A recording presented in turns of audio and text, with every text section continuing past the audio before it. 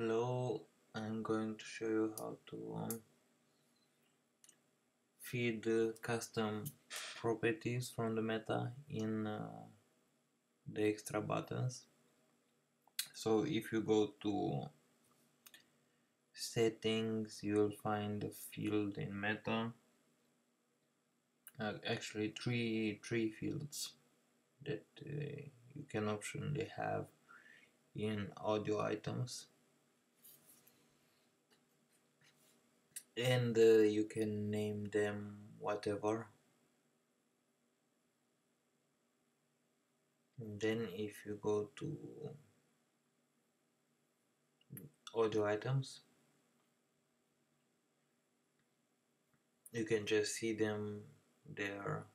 Uh, see here the new field. Name it as we previously set it and we can input any value here. Now uh, let's find out how we can add the buttons. And we go to the knowledge base for instructions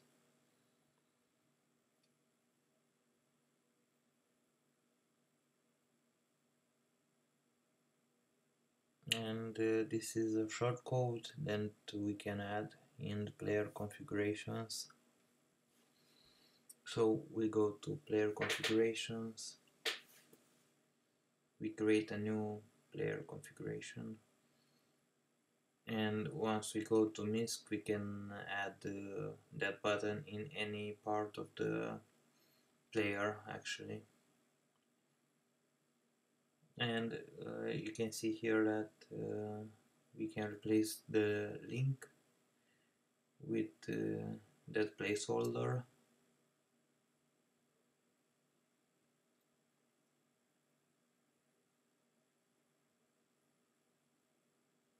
And uh, now we can just create a playlist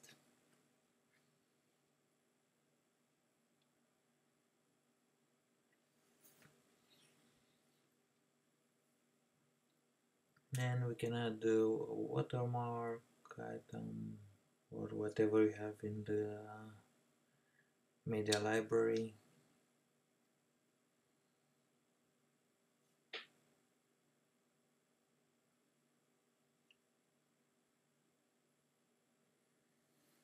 And make sure you select the player configuration you just created with the extra buttons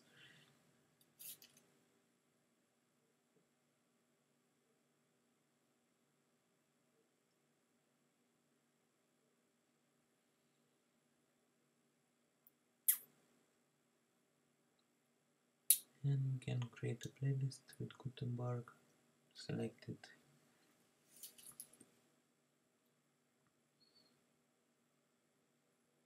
now if we try it you can see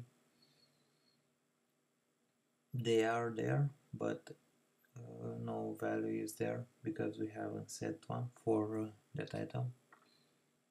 Now we go back to our audio items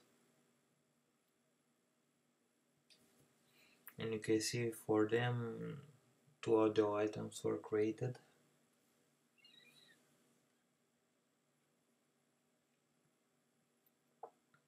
And we can input uh, in link I'll just take this one for example.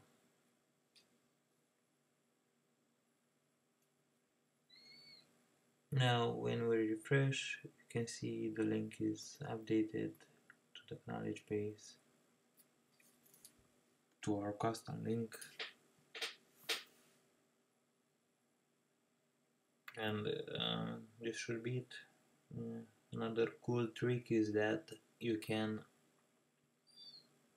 replace not only links but uh, the labels for example.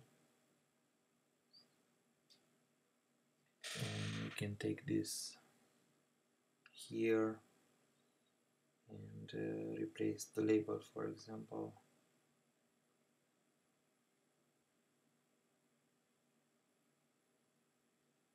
Now we have the label replaced. This should be it.